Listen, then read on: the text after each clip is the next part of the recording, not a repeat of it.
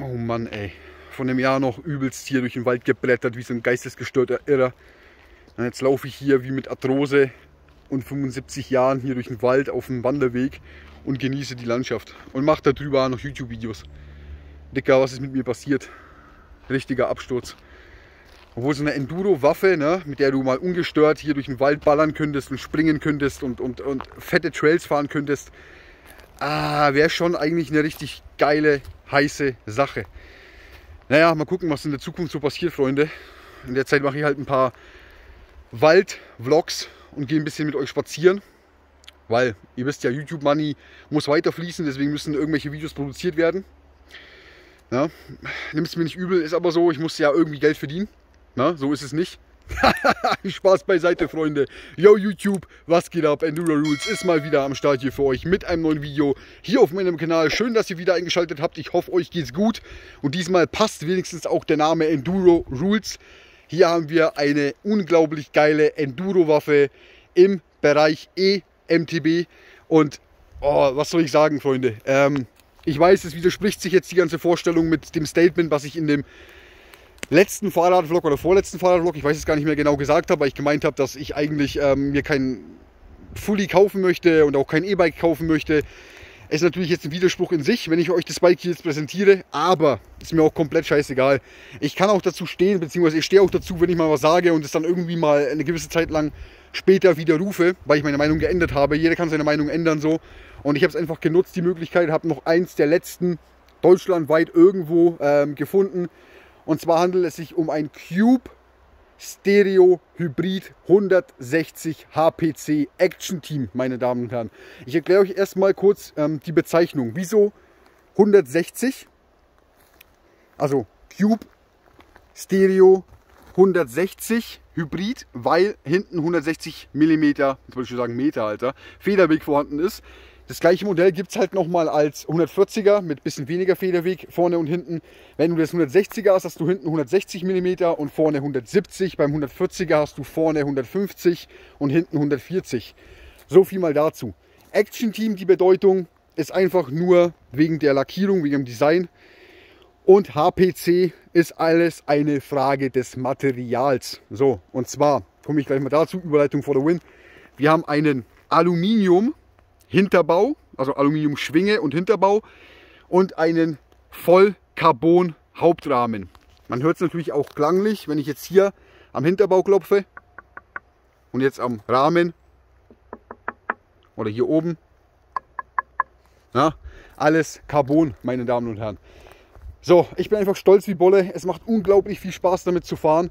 Ihr könnt es euch gar nicht vorstellen. Also erst habe ich auch gemeint, ich brauche keine E-Bike, so warum dicker und hier und da bla. Ne? So, aber das Ding, das Ding von den Komponenten und vom optischen, okay, optisch ist natürlich alles eine Geschmackssache, aber das Ding ist von den Komponenten her einfach nur der absolute Traum. Ja, aber dieser absolute Traum hat natürlich auch seinen Preis mit über 6000 Euro. Mit dem Kiox äh, Bordcomputer, also dem kleinen praktisch, ja, sind wir bei 6249. Und mit dem Neon, was einfach ein bisschen größer ist, bist du bei 6,5. Ah, also aufgerundet 6,5. Das ist natürlich schon ein sehr, sehr stolzer Preis. Ja, ich äh, will euch erstmal, ähm, bevor ich äh, zu den ganzen anderen Komponenten noch komme, euch zeigen, was ich ähm, bis dato verändert habe. Bevor ich dazu komme, was ich alles verändert habe, aus diversen Gründen verändert habe, nicht aus Langeweile oder irgendwie Optikgründen, sondern hauptsächlich, weil es einen Hintergrund hatte, weil mich irgendwas gestört hat, ähm, komme ich erstmal dazu, dass äh, wir auch noch nicht nur einen Carbon-Hauptrahmen haben, sondern Carbon-Felgen am Start sind, ein Carbon-Vorbau und ein Carbon-Lenker. das erklärt natürlich auch noch ein bisschen besser den Preis vom ganzen Bike. Und ähm, genau, was ich verändert habe, bevor ich jetzt noch zu den anderen Komponenten komme, die ja auch natürlich ein absoluter Traum sind, haben wir hier ähm, Odi-Griffe. Ja, also wie auf meiner KTM, auch hier auf dem Mountainbike Odi-Griffe, kann ich jedem nur empfehlen. Vom Grip her ist sogar Troy Lee Designs. Ähm, einfach vom Grip her unglaublich gut und auch von der Haptik her unglaublich gut. Da haben mich die Cube-Griffe ein bisschen gestört, weil die ein bisschen zu hart waren und ein bisschen zu rutschig waren. Deswegen kamen hier die Odi-Griffe ran. So, dann, man hat es wahrscheinlich schon gesehen oder sieht es immer noch, äh, ohne jetzt äh, groß schauen zu müssen, habe ich von Riesel Designs ein Mudguard hinten verbaut und ein Mudguard vorne verbaut. Ähm, schaut optisch jetzt natürlich farblich, ähm, ja, nicht unbedingt hundertprozentig stimmig aus mit dem restlichen Design. Aber das waren einfach die schönsten, die ich gefunden habe. Und dann habe ich mich doch dafür entschieden. Und ich finde jetzt so verkehrt schaut es auf jeden Fall nicht aus. Wenn man jetzt so, so guckt, ist es auf jeden Fall ähm, ja, eine hübsche Angelegenheit, würde ich jetzt mal dezent behaupten. Passt doch ganz gut. Was auch noch geändert wurde, Freunde, äh, beziehungsweise angebaut wurde, äh, sind diese Pedale. Rainbow Look ähm, ist nicht jedermanns Sache, klar. Ähm, aber ich persönlich finde die echt cool, vor allem leicht. Neupreis oder halt Preis allgemein sind äh, 30 Euro für insgesamt ähm, sehr hochwertige Pedale, ähm, wo man sogar hier oben die Stollen, nenne ich es jetzt einfach mal, wechseln kann. Und ähm, leicht sind sie auch, also die sind nicht schwerer als ähm, Kunststoffpedale, obwohl es Aluminiumpedale sind. Und ich musste die praktisch ähm, ranbauen, beziehungsweise musste mir neue holen, weil im Lieferumfang ist ein bisschen traurig, ähm, keine dabei sind. Na, weil für den Preis hätte ich schon erwartet, dass man wenigstens mal so 30 Euro Pedale mit dazu packt. Aber okay, ähm, ja, jede Firma muss das machen, was sie für richtig hält. Kann man nicht dran rütteln. So ist halt nun mal so. So, und das war's schon. Mehr habe ich nicht gemacht und mehr habe ich auch nicht vorzumachen, so, weil, äh, okay, vielleicht irgendwann mal auf Tubeless umrüsten, weil Tubeless Ready ähm, ja schon am Start ist. Das heißt, falls ich mal einen Platten haben sollte, und ich hoffe, es dauert noch ein Stück, dann werde ich auf Tubeless umrüsten. So, jetzt kommen wir mal zu den ganzen Komponenten. Und zwar, Freunde, ähm, nicht erwarten, dass ich hier das Know-how des Jahrhunderts raushau, weil, äh, wie gesagt, ich bin kein Experte in Sachen MTBs und auch nicht in EMTBs bin ich auch kein Experte. Aber ich sage euch einfach das, was ich weiß. Ne? Und falls ich was vergesse oder falsch sage, dann korrigiert mich in den Kommentaren. Wir haben hier eine Shimano ähm, 12-fach Schaltung, Diode XT, also Diode XT Schaltwerk, Diode XT Hebel oder Armaturen, die wirklich sehr, sehr geil sind, sehr, sehr schnittig und sehr, sehr geil ähm, lassen sich sehr, sehr gut ähm, bedienen und äh, fühlen sich super, super an. Dieselben sind auch auf meinem Hardtail, also ich bin froh, dass die hier auch hier am Start sind, weil die wirklich äh, ja, einen sehr guten Job machen. Sind auch verstellbar, wie gesagt, mit dem Rädchen hier und genauso wie ähm, mit dem Rädchen hier. Kannst du alles noch schön einstellen. Super, super. Und vor allem sind das Einfingerhebel, was ich persönlich geiler finde als Zweifingerhebel. Dann muss ich jetzt mal kurz rumgehen, dass man es besser sieht. Haben wir hier eine 203 mm Bremsscheibe vorne, aber auch hinten. Also äh, brachial. Das sind, soweit ich informiert bin, da kann es sein, dass ich mich jetzt irre, ähm, Shimano Ice Tech. Welche Materialien genau verwendet wurden, das kann ich euch gar nicht sagen, will ich auch gar nicht, weil bevor ich hier was Falsches sage, lasse ich es lieber. Auf jeden Fall zwei Komponenten Bremsscheibe von Shimano, 203 mm, vier Kolben Sattel vorne und vier Kolben Sattel hinten. Ähm, auch Shimano Diode XT. Na, hier sieht man es, glaube ich, am besten. Genau. Und ich kann euch nur so viel sagen, also zur Pitbike-Zeit waren meine Bremsscheiben nicht größer. Deswegen, also die packen unglaublich gut zu. Das Bike wiegt ja knapp über 24 Kilo. Deswegen ähm, brauchst du auch natürlich Bremsen, die eine gute Kühlleistung haben und die auch gut zupacken können. Und das ist auf jeden Fall hier vorhanden. So, jetzt kommen wir, ähm, ja, ich würde sagen, fast zum Herzstück des ganzen Bikes. Damit meine ich jetzt nicht den Motor, der ist auch ein Herzstück, aber das Fahrwerk ist auch ein Herzstück. Also du kannst kaum ein besseres Fahrwerk verbauen. Wirklich, es ist unglaublich gut. Wir haben hinten einen Fox DPX2 Factory Dämpfer, meine Damen und Herren.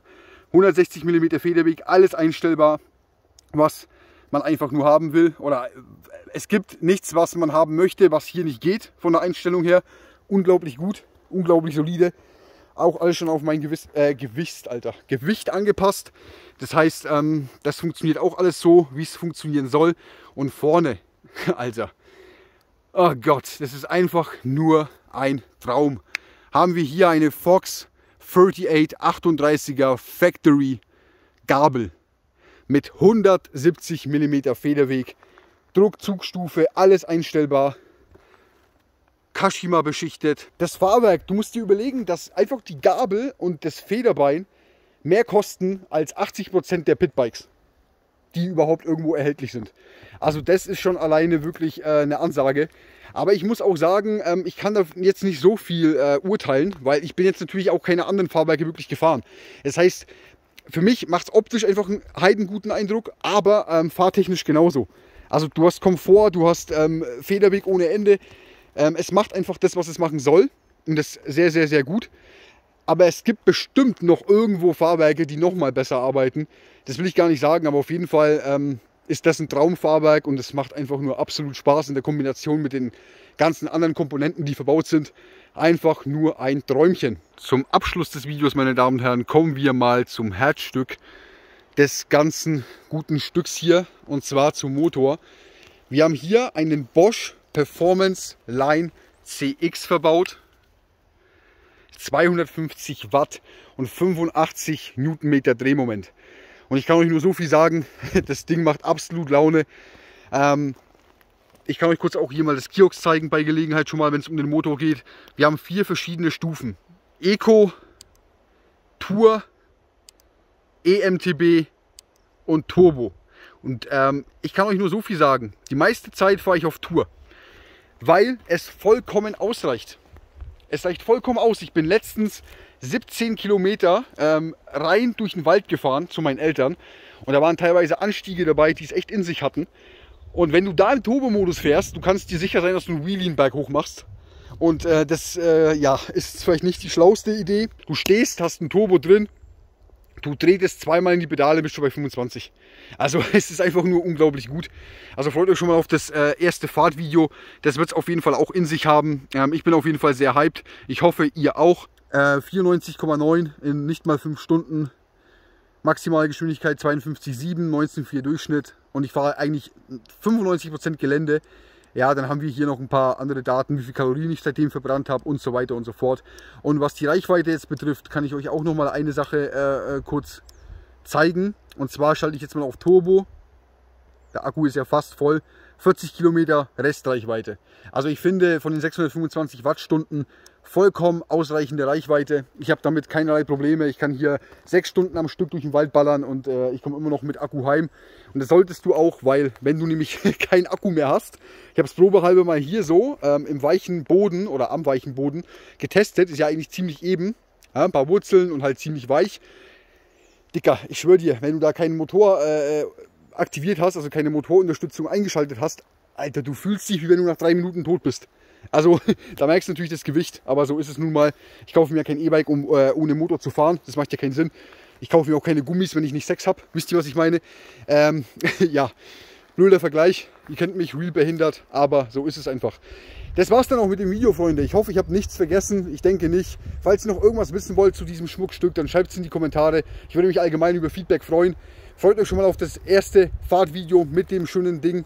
Ich bin auf jeden Fall sehr gespannt, was ihr zu dem guten Stück sagen werdet, was ihr an Feedback da lassen werdet. Ähm, lasst auch ein Like da, wenn es euch gefallen hat. Wenn nicht, dann lasst ein Dislike da. Ist mir auch völlig Wumpe. Danke auf jeden Fall für den ganzen Support. Kostenlos abonnieren, wenn ihr es noch nicht getan habt. Wäre auf jeden Fall auch ein Träumchen. Support ist kein Mord. Lasst euch gut gehen, bleibt gesund. Bis zum nächsten Mal. Euer Enduro Rules oder neuerdings MTB Rules.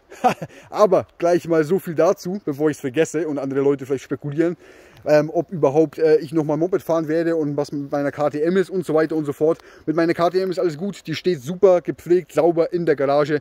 Ich war aber halt einfach schon lange nicht mehr auf Strecke, weil immer irgendwas dazwischen kam. Wenn ich wieder auf Strecke bin, was dieses Jahr auf jeden Fall noch passieren wird, nicht nur einmal, dann kommt natürlich auch wieder ein Motovlog, Freunde. Keine Sorge. Bis dahin, macht's gut, haut rein. Ciao, ciao.